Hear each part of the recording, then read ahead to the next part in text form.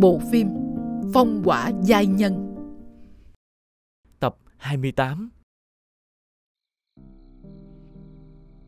Tiểu thư Trong lòng đau đớn như vậy Tại sao vẫn phải nhẫn nhịn? Sao phải giả vờ điềm tĩnh chứ? Phải Cô rất kiên cường Nhưng mà cô giả vờ như không có chuyện gì Người khác sẽ tưởng thật đó. Phu nhân và má Dung đang bàn cưới vợ bé cho cô gia kia kìa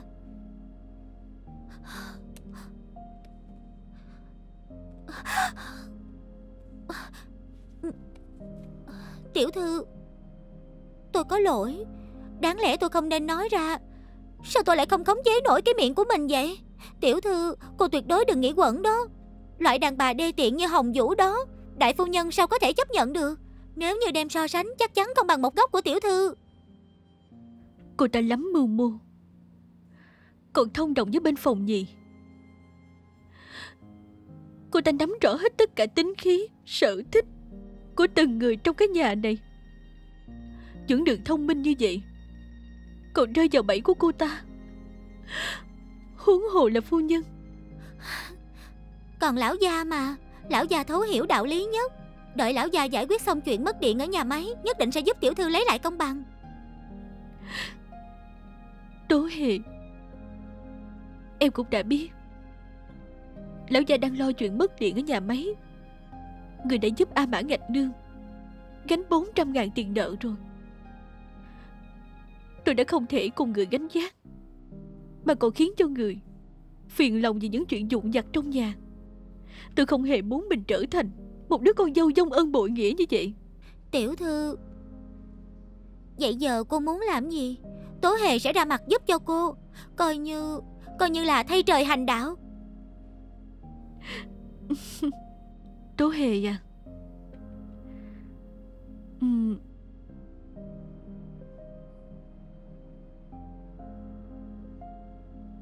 Cô tìm giúp tôi lò than. Để tôi sắc lại thuốc cho dưỡng Đường uống. Cái gì? Cô ổn không vậy? Trái tim của cô già đã bị chó ăn mất rồi. Sao cô vẫn toàn tâm toàn ý vì cậu ấy? Chuyện tới nước này rồi. Tôi chỉ còn biết dùng hết tâm ý. Kết quả ra sao? Thì tùy trái tim anh ấy. Tiểu thư, Cô hết lòng đối đãi người khác, Nhưng mà cũng nên xem là với ai đã. Cô gia không phải chu thiếu gia. Chu thiếu gia một lòng một dạ Cô thật lòng yêu anh ấy Anh ấy hết lòng đáp lại. Còn cô gia Lòng dạ cô gia ác ma đó tôi thấu từ lâu rồi, Cậu ấy là loại người lạnh lùng tàn nhẫn. Sợ rằng cả đời cô có đối tốt với cậu ấy, Thì cậu ấy cũng không có đáp lại đâu. Tiểu thư, Nếu bây giờ chu thiếu gia muốn đưa cô chạy trốn, Tôi Tôi sẽ là người đầu tiên giơ tay tán thành đó. Tố hề Bây giờ tôi đã là vợ của Đỗ dưỡng Đường, Là vị thiếu phu nhân Đỗ gia. Cho dù Chu Đình Sâm Có xuất hiện đi nữa, Tôi cũng không thể đi cùng với anh ấy được. Cô có hiểu hay không hả? Chỉ có thể chịu đựng sao? Tiểu thư, Tôi sắp nhịn hết nổi rồi.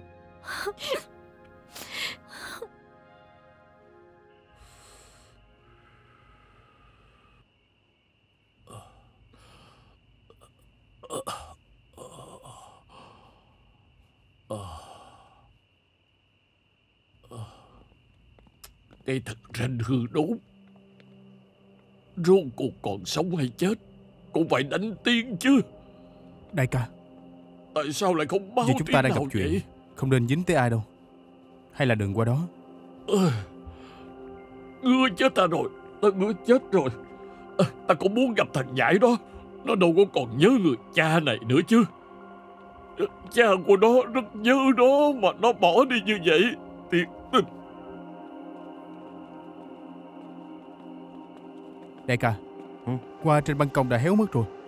Không chừng Mẫn Như tiểu thư Đã bị bọn người Nhật làm hại thì sao? Thiệu Phong đã không tưới Lúc đầu thì anh ta vẫn tưới Sau đó thì không quan tâm nữa. Thiệu Phong không phải người như vậy. Nhất định đã xảy ra chuyện bất trắc. Hiện giờ Mẫn Như đang gặp nguy hiểm Phải tìm cô ấy ngay. Ừ.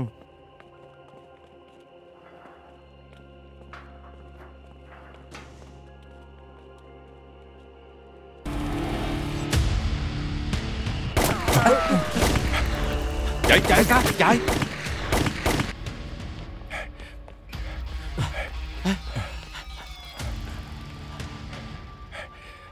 Tìm chỗ trốn đi.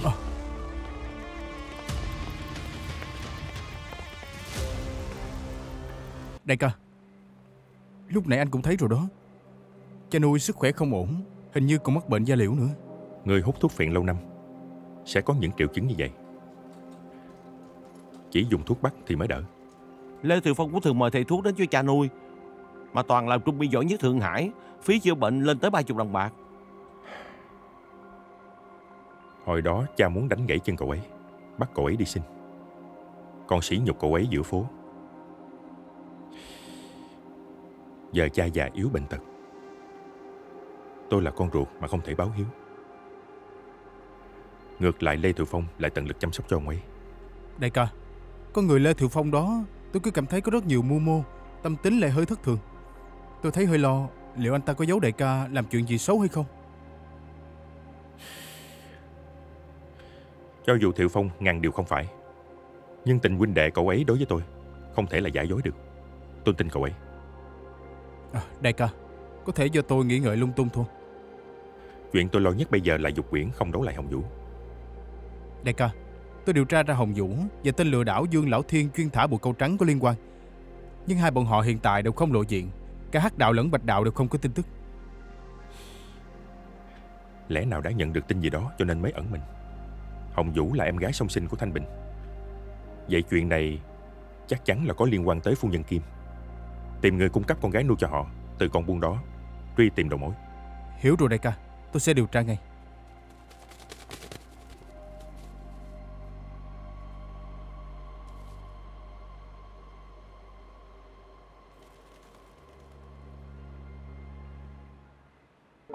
Hoàng hôn ngày mai. Tại cầu ngoài Bạch Độ, Em hôn trộm anh, Không phản đối chứ, Mẫn như.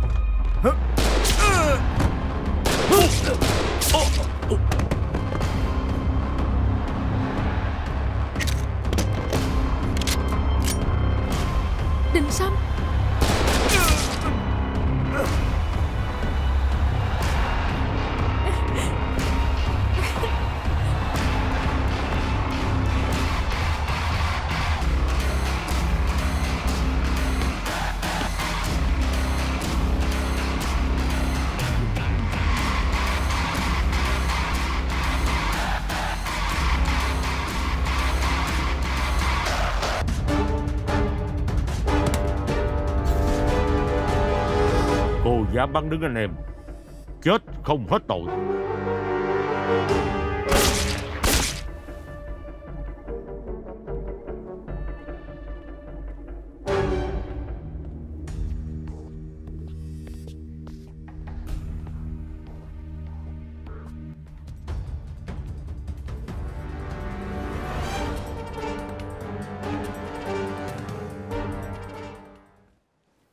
Phản đồ. Anh đã tuồn địa điểm liên lạc Sắp xếp mai phục đúng không? Không phải đâu. Em đừng có bên anh ta. Ê, người anh em xin lỗi nha Đụng trúng cậu. Tao nói cho cậu biết Người tưởng sẽ phản Thực ra là anh hùng Còn người cậu cho là liệt sĩ Mới là kẻ phản bội. Anh bám theo chúng tôi rất lâu. Rốt cuộc anh lại. Có phải cờ úp mà họ nhắc tới?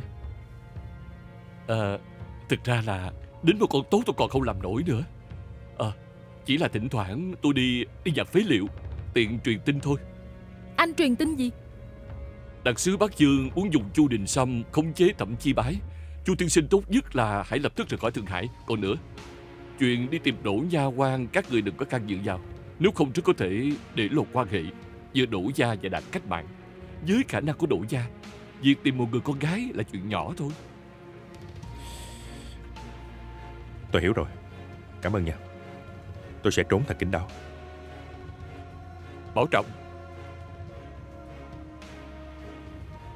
Đình Sâm Để tôi làm người bảo hộ Bảo vệ anh ẩn thân.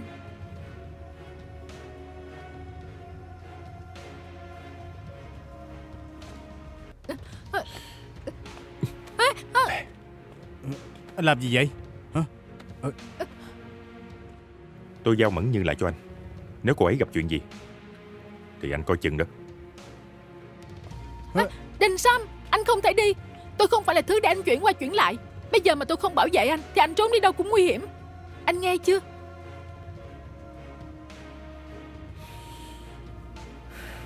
Đình Sâm Bỏ em xuống đi. Đình Sâm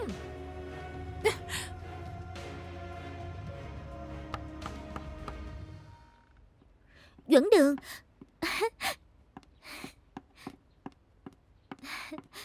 Dẫn đường Ờ, Phu nhân Sao bác lại tới đây Sao vậy? Ta không thể tới sao? Đây là nhà con trai ta bỏ tiền ra thuê. Ta muốn tới xem con trai ta có sắm sửa bày biện gì không. à, Hồng Vũ Xin thỉnh an phu nhân Ờ, Chào má Dung Xem ra cô cũng hiểu lễ nghĩa à, Phu nhân xin mời ngồi.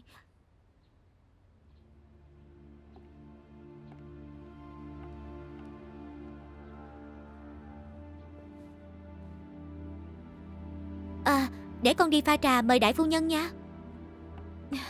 Khoan đã. Sở thích uống trà của đại phu nhân Không giống với nhị thiếu gia. Người không uống bích loa xuân. Hồng Vũ hiểu mà. Hồng Vũ từ lâu đã chuẩn bị loại bạch trà Tùng khê thượng hạng. Loại trà đó ở Thượng Hải rất hiếm. Làm sao mà cô tìm được? Nhị thiếu gia có ngày nào mà không vài lần nhắc tới phu nhân đâu. Nhờ đó con biết bác rất thích uống loại trà này. Còn phải đi hết Thượng Hải mới tìm được đó. Chỉ mong một ngày phu nhân sẽ cho Hồng Vũ một cơ hội Được tận tay pha trà cho bác. Ông trời thật không phụ lòng người tốt. Hôm nay mong ước của con thành hiện thực rồi. Đủ rồi, đủ rồi. Mang ra đây đi. Dạ phu nhân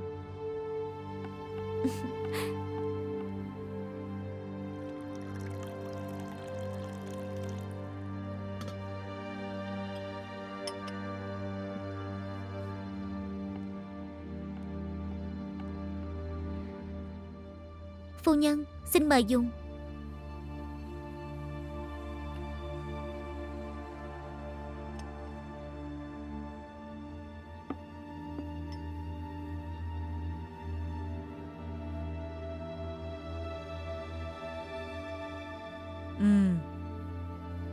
đun sôi hai lần. Coi như cũng hợp khẩu vị ta. Phu nhân khăn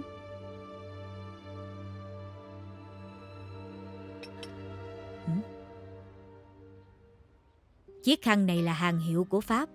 Người tầm thường như cô. Sao đáng để con trai ta mua tặng thứ này? Phu nhân, bác đã trách lầm con rồi Đây là khăn con chuẩn bị cho Duẩn Đường Con biết là ở nhà anh ấy chỉ thích dùng mỗi loại này mà thôi Con sợ anh ấy nếu lỡ dùng loại khác sẽ bị dị ứng đó Phu nhân Hồng Vũ không nói dối đâu Đúng là khăn của nhị thiếu gia dụng Ừm. Thì ra cô cũng biết tận tâm chăm sóc con trai ta. Coi như cũng có ưu điểm đáng khen. Hồng Vũ cũng muốn hiếu thuận với lão gia và phu nhân Hồng Vũ những lúc rảnh rỗi đã học cách làm bánh đậu xanh mà đại phu nhân thường thích ăn nhất đó. Này con, đánh liều, mời bác nếm thử tay nghề kém cỏi của con. Phu nhân thấy cô có vẻ thành tâm thành ý, nên phu nhân nể mặt cô thử một miếng.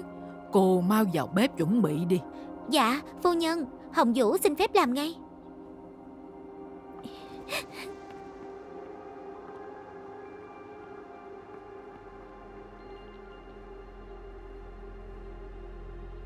Phu nhân, tôi cảm thấy cô ta đối với bà rất cung kính, chắc không phải là giả vờ đâu. Đúng là giả vờ đó. À hả? Thì ra cô ta muốn nịnh nọt chúng ta sao? Vậy thì chúng ta về thôi. Về cái gì mà về? Trong quan hệ mẹ chồng nàng dâu, con dâu mà biết nịnh mẹ chồng, dù là giả vờ cũng vẫn tốt. Ơi trời ơi, ta làm mẹ chồng thường ngày, chỉ muốn con dâu nịnh mình một chút thôi. Nhưng mà cái người thanh cao đó không tinh tế một chút nào. Bà đang nói nhị thiếu phu nhân đối nhân xử thế không bằng Hồng Vũ có phải không? Ê, thôi được rồi, được rồi. Vừa nhắc tới đồng dục quyển, ta đã không vừa ý rồi. Ai, dù sao cũng đã tới đây. Chúng ta ăn một chút rồi hãy về. Dạ.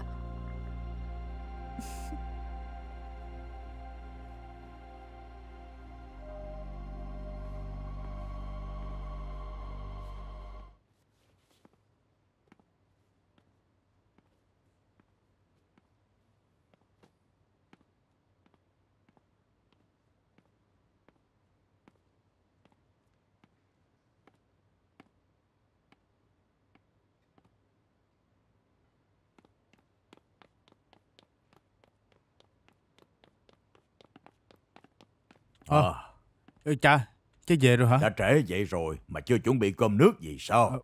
Mấy ngày nay ờ, cha đều bận rộn ở nhà máy. Mọi người không biết hôm nay cha ăn cơm ở nhà nên chưa chuẩn bị nấu nướng gì. Mẹ lớn đâu rồi? Ờ, ra ngoài với má Dung rồi. Chắc là chưa về ngay đâu. Vậy Tuyết Trúc với mẹ con đâu? Ờ, mẹ con với Tuyết Trúc đi xem kịch rồi.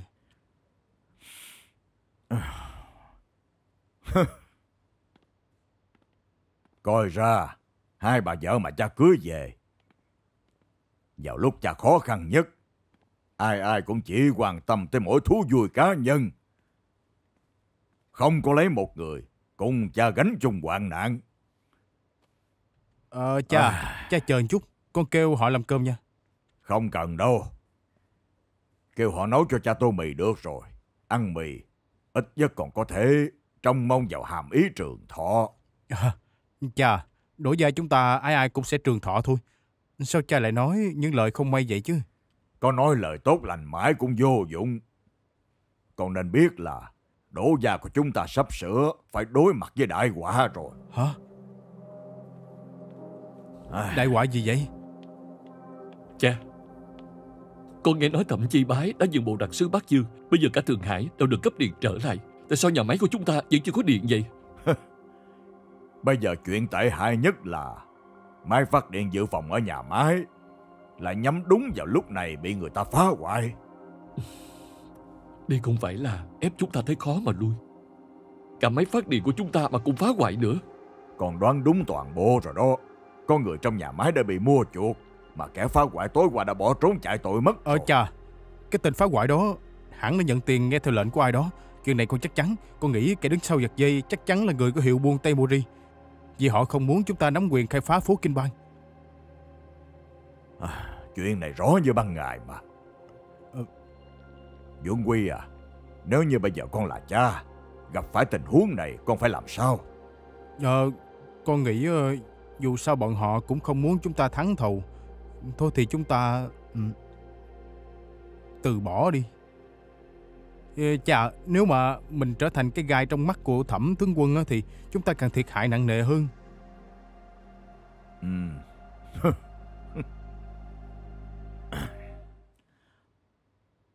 Đường, còn con, con sẽ làm sao? Con cảm thấy Bây giờ chưa phải lúc để chúng ta bỏ cuộc Hả? Con nói lý do coi. Đem tầm quan trọng chuyện khai phá phố Kinh Bang Công khai trên báo chí để cho mọi người cùng biết, Đến lúc đó, Sẽ có được sự ủng hộ của toàn dân Thượng Hải, Giúp ta quét trương thanh thế.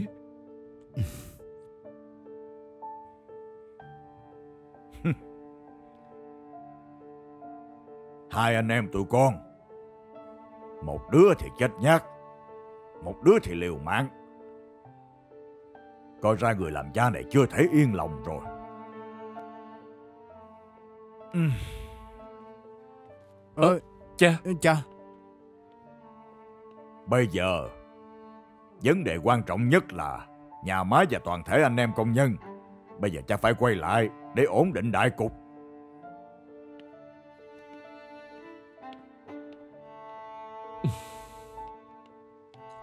Ê Dưỡng đường Dưỡng đường. Em ờ, có phải nghĩ ra gì rồi không? Nói với anh đi Anh sẽ giúp em hoàn thành tốt đẹp. Em yên tâm Anh chắc chắn không cướp công của em đâu ha Em có nói là anh cướp công gì đâu. Chỉ là gần đây em gặp một số chuyện rất là nan giải Nên muốn tìm nơi nào đó yên tĩnh Để có thể nghĩ thông suốt thôi. Em đi đây. Ê Dưỡng Ừ. đường Em vội tới mức thời gian nói với anh vài câu cũng không có hả? Nghệ thiếu gia Nghệ thiếu phu nhân muốn nói chuyện với cậu. Dưỡng đường Chuyện giữa vợ chồng với nhau tâm sự rất quan trọng. Còn chuyện nhà máy mất điện gì gì đó Để mấy tiếng nữa xử lý cũng còn kịp mà. Ông nói với nhị thiếu phu nhân Mấy ngày nay tôi sẽ không về. Có chuyện chờ tôi về rồi nói. Dạ được.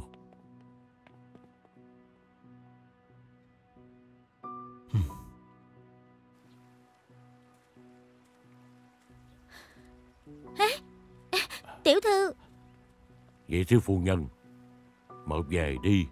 Nghệ thiếu gia Cậu ấy Cậu ấy đi mất rồi. Tiểu thư Tôi Tôi sẽ đi tìm cô gia tính sổ Tố Hề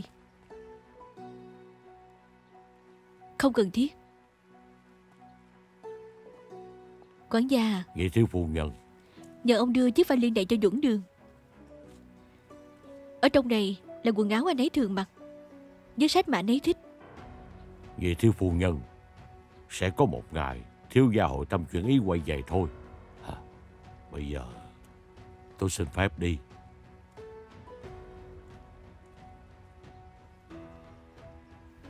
E là khi người nhìn lại. Thì đã là trăm năm trôi.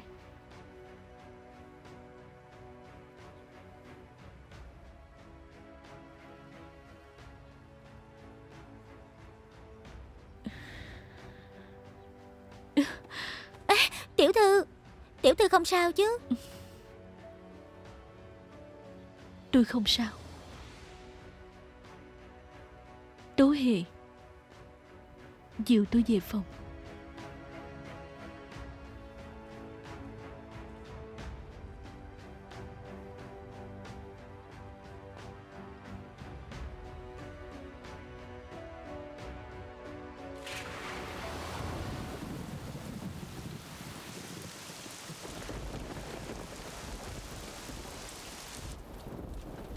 Báo cáo đoàn trưởng.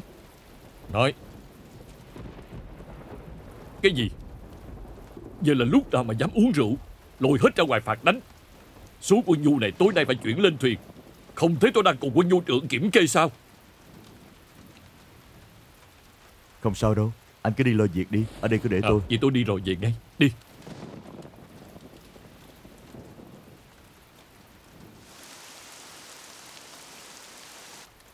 Báo cáo quân du trưởng Lê Đây là cái gì?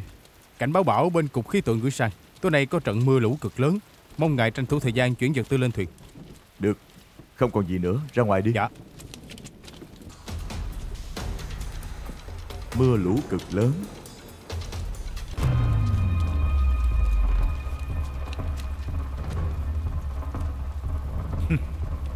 Thẩm chi bái. Không hạ chút oai phong của ngươi Thì ngươi cứ tưởng ta là thứ tôm tép bài trên thớt của nhà ngươi mà thôi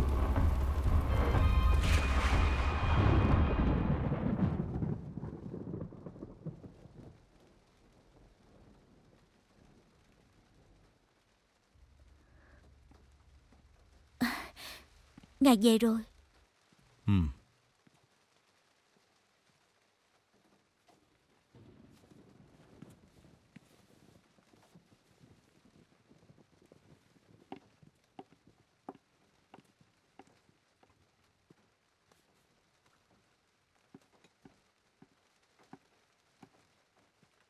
Tướng quân Ngài đã mệt rồi Không nên uống rượu Nên uống dưỡng tâm thang Cứ để bên kia đi.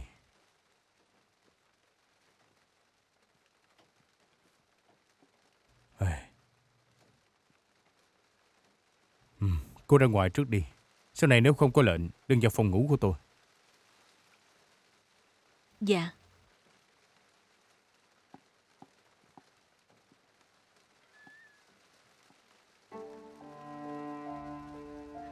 quân Cảm ơn ngài Cảm ơn cái gì? Tôi mới phải cảm ơn em. Mới gần đây thôi, hãy thấy tôi là em như chuột thấy mèo vậy. Mới vừa chạm nhẹ, em đã rùng mình sợ hãi. Bây giờ cô gái bé nhỏ của tôi cũng biết đợi tôi về. Trước đây Vũ Lan cũng như vậy, dù trễ tới đâu cũng đợi tôi về. Vậy mới là vợ của Thẩm Chi Bái. Đúng vậy Không ngờ thời gian trôi qua nhanh thật Cuối cùng em cũng thích ứng được cuộc sống này Ân cần với tôi như vậy, có phải là muốn xin gì hay không? Vậy là đúng rồi. Cũng lại là liên quan tới ông anh quý quá kia. Tướng quân Phương án của anh trai em thật sự không liên quan tới hiệu buôn Tây Mori Anh ấy chỉ muốn giúp cho kiến trúc Lê Thị cha em Có chỗ đứng mới ở Thượng Hải thôi Em cảm thấy Ngài không nên chưa từng xem qua Đã thẳng thừng dứt đi như rác Vào đi. Tướng quân, trời mưa lớn quá, nước sông cao đột ngột, tàu chở hàng không kịp dỡ xong hết hàng. Cho nên quân quả tất cả đều hư hết. Là ai trong coi kho quân giới? Đoàn trưởng Dương và Lê Thiệu Phong.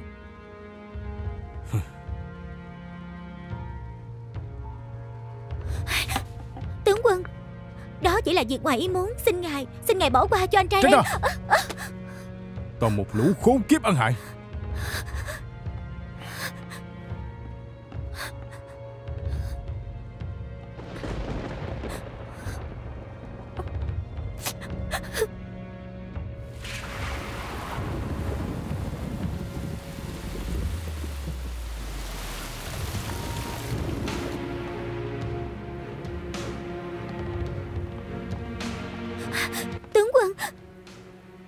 Cũng muốn hỏi anh trai em mà. Anh ấy bây giờ sao rồi Cậu ta vì cứu vật tư, bị nước lũ cuốn đi rồi. Vậy Ngài đưa em đi cứu anh ấy có được không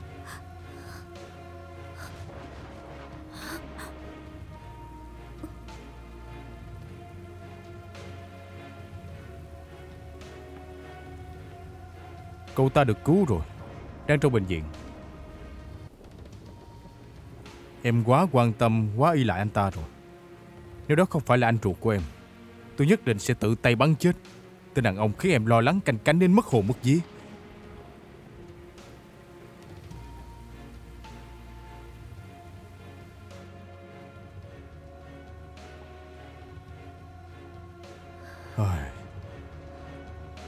Tướng quân Giờ anh ấy cũng đã ổn rồi Phải không Tôi đưa em đi thăm cậu ta. Đi.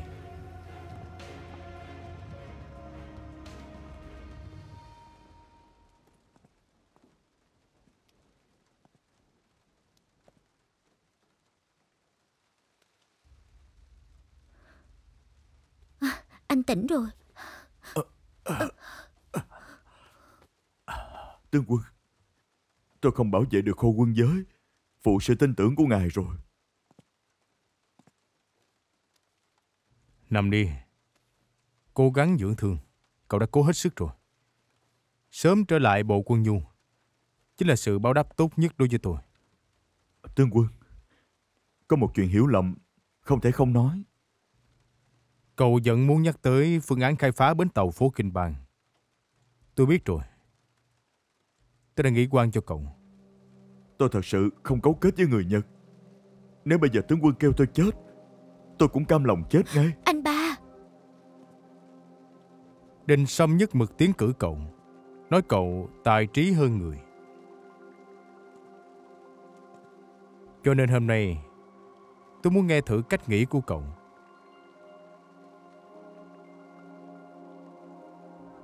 Tuyết Mai, em về trước đi.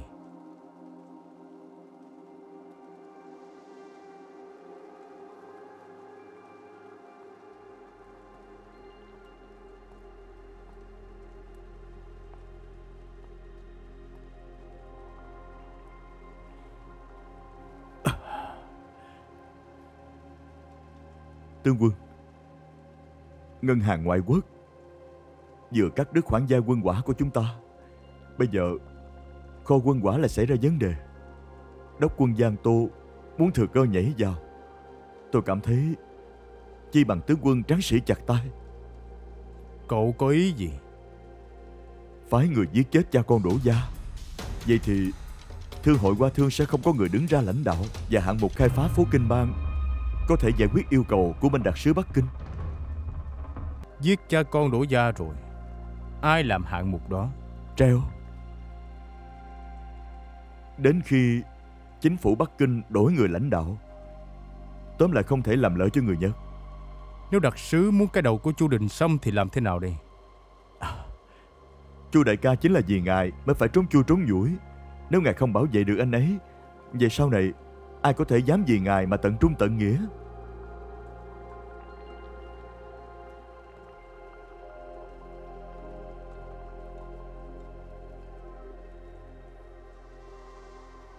Cậu quả nhiên với Đình Sâm tình sâu nghĩa nặng. Đáng tiếc mưu kế của cậu vẫn bồng bột non trẻ, cân nhắc còn thiếu chu toàn.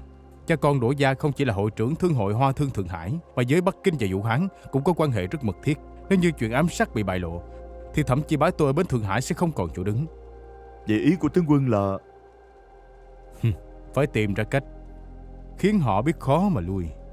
Vậy đại ca tôi thì sao Phát lệnh truy nã trên diện rộng, cho có lệ trước mặt đặc sứ Bắc Kinh.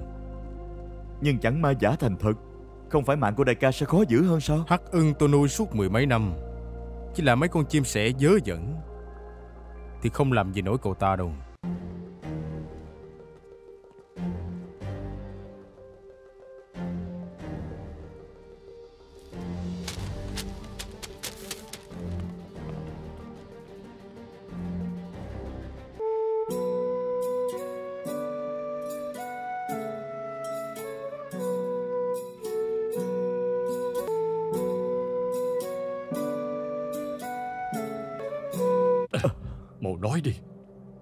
Trai của tôi rốt cuộc còn sống hay chết?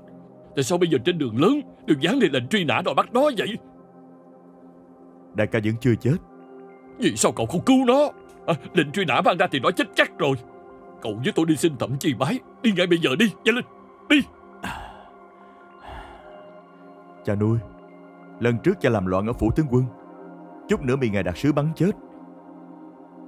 Con đã thay cha cầu xin Tướng quân đã không vui rồi cho nên lệnh truy nã lần này Con thấy hay là đợi tướng quân bất giận hắn nói đi. Tiểu tử thối. Bây giờ cậu còn dám cãi tôi, Từ chối năm lần bảy lượt. Nếu con trai tôi có mệnh hệ gì, Thì cậu cũng đừng hòng sống. Tôi có chết, Cũng phải kéo cậu xuống theo. Đem thân phận thật của cậu công bố với thiên hạ, Tiểu Phúc Căn Một thằng ăn mày. Cha nuôi, Muốn giúp đại ca thoát tội Phải giải quyết tận gốc, Lệnh truy nã do đặc sứ ép thẩm tướng quân ban ra Vì liên quan đến việc cải tạo phố Kinh Bang. Chỉ cần đổ gia vào người Nhật Bản, Không tranh giành quyền cải tạo nữa, Thì đại ca sẽ an toàn.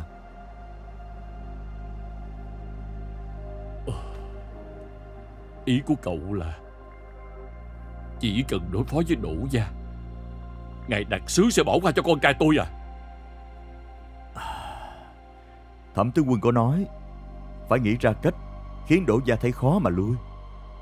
Nhưng đổ gia Có chỗ đứng khắp mọi nơi Không dễ gì lật đổ họ. Vậy Trừ phi trừ phi cái gì?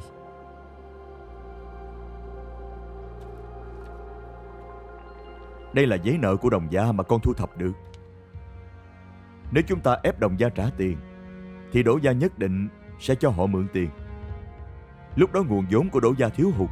Và việc cải tạo phố Kinh Bang Chỉ còn có thể biết khó mà rút lui thôi. Mặc dù không thể lật đổ được bọn họ Nhưng đặc sứ cũng có thể nhìn ra lao tâm khổ tứ của cha Cho đại ca một con đường sống. Tôi tôi cầm những giấy nợ này Làm nhục đồng gia Ép chết chúng. Thông gia sụp đổ Chặt tay cắt luôn cả gân Xem hắn còn dám mở miệng Xưng ông trùng thương giới Thượng Hải nữa không? Thật ra cha nuôi à Trong tay con có một vật Có thể khiến đồng gia hận đến nỗi tự tác vào mặt mình. Nhưng đại ca không cho con nói với cha. Là vật gì? Bảo vật trấn trạch của đồng gia Bình phong phỉ thúy. Với đồng gia đó là một biểu tượng cao quý truyền đời Và cũng là bằng chứng Đồng dục quyển thất tiết Mau mau mau mau. Mau đóng cửa lại. Nè, trả tiền. Trả tiền cho tôi, Đóng cửa lên. cửa Nè trả tiền đi. trả tiền đi. Trả tiền đi. Không xong rồi. Lão gia. Phu nhân. Trả tiền cho chúng tôi. Dạ. Lão gia phu nhân. Lão gia phu nhân. Mấy chủ nợ đều đang ở ngoài cửa là lối ôm sòm kìa. Có còn dương pháp nữa hay không vậy? Thiếu nợ trả tiền là điều đương nhiên Nhưng cũng không nên ức hiếp người ta như vậy. Ê, Họ còn nói lần này là còn nhẹ. Nếu vẫn không trả tiền Thì không chỉ đơn giản là tạt mật đâu Họ sẽ đánh cả nhà chúng ta dở đầu chảy máu luôn đó Hiếp người quá đáng. Dung Kỳ à Bà mau hỏi Dục Quyển đi. Tiền của đổ gia lúc nào có thể mượn được về đây? Tình cảnh của dục quyển ở đổ gia Đâu phải là ông không biết. Của hồi môn của nó đã đem bán hết rồi Cũng vì thay chúng ta trả nợ. Làm ngạch nương như tôi Làm sao còn mặt mũi đi tìm nó nữa chứ? Thà chúng ta chết hết Chứ tôi không làm con gái khó xử nữa. Được được được được Các người đều sĩ diện Chỉ có tôi là không thôi. Ngày mai tôi sẽ để tên Chu Minh Sương đánh chết tôi là xong. Hừ. Trời Lão ơi. gia. Còn không phải do ông gây ra sao? Trời ơi Tiền cứu mạng của Đỗ Gia khi nào mới tới được đây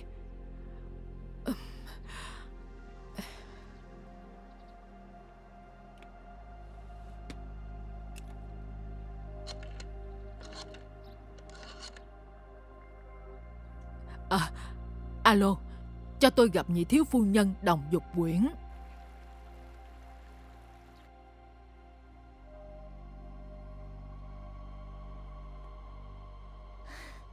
Tiểu thư Lão gia và đại thiếu gia ở trong thư phòng nói chuyện suốt 2 tiếng đồng hồ rồi Rõ ràng là muốn tránh mặt chúng ta mà. Sức khỏe của cô không tốt Hay là đứng lên trước đi? Tố Hề A Mã và Gạch Nương Chỉ có một đứa con gái là tôi. Bây giờ họ đang gặp nạn Đừng nói quỳ hai tiếng đồng hồ.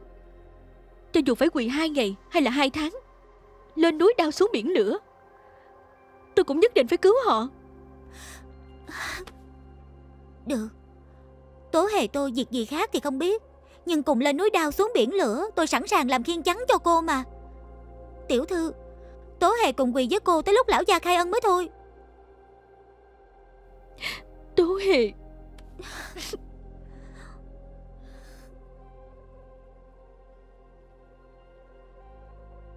Mấy ngày nay tổn thất do mất điện gây ra.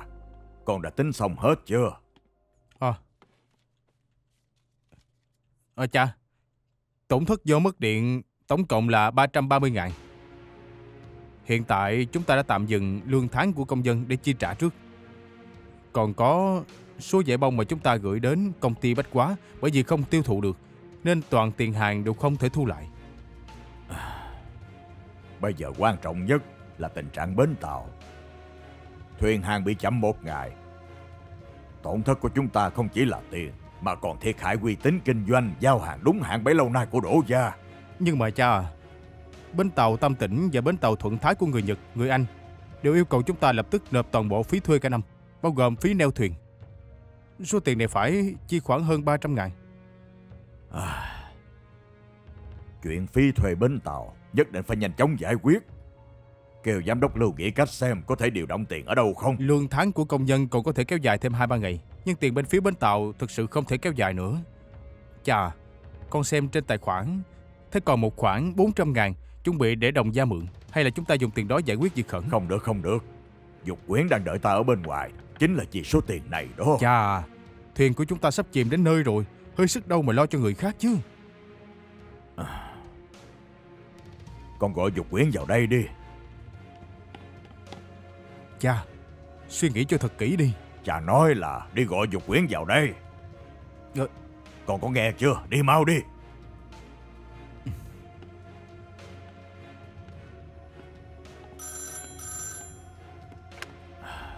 Alo.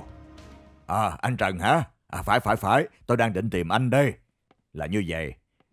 Gần đây tôi quay đồng vốn không được Cho nên muốn mượn anh ít tiền. Cái gì? Không có hả Anh Trần à Chúng ta là bạn bè lâu năm mà Anh đừng có như vậy. Giúp tôi một chút có được không? Cái gì hả? Nhà máy đóng cửa. Vậy coi ra tôi tìm anh không đúng lúc rồi. À thôi được thôi được. Tôi sẽ tự nghĩ cách. Thật ngại quá đã làm phiền anh.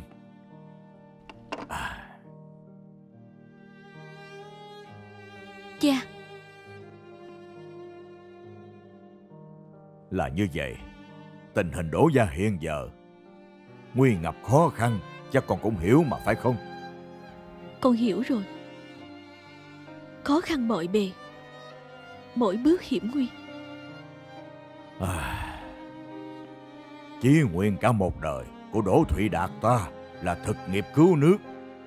Không ngờ con đường này Càng đi càng hẹp. Dụ Quyến à Ta muốn hỏi con Nếu như con là ta Đang phải đối mặt với nhiều cửa ải như vậy Con phải làm sao vượt qua đây Con.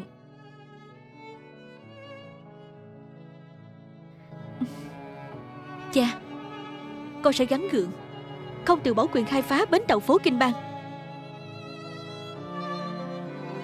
Tại sao vậy? Người Nhật đắp tâm tính kế. Mặc dù con không nghĩ ra nguyên nhân gì Nhưng mà cũng biết chuyện này nguy cấp. Nếu như dọc theo sông Hoàng Phố Không có bến tàu thuộc về người Trung Quốc Một khi xảy ra chiến tranh Mộ binh và việc cung cấp hàng hóa Đều phải thuộc vào người khác. Cho nên bất luận thế nào, Chúng ta quyết không thể từ bỏ Quyền khai phá chỗ này.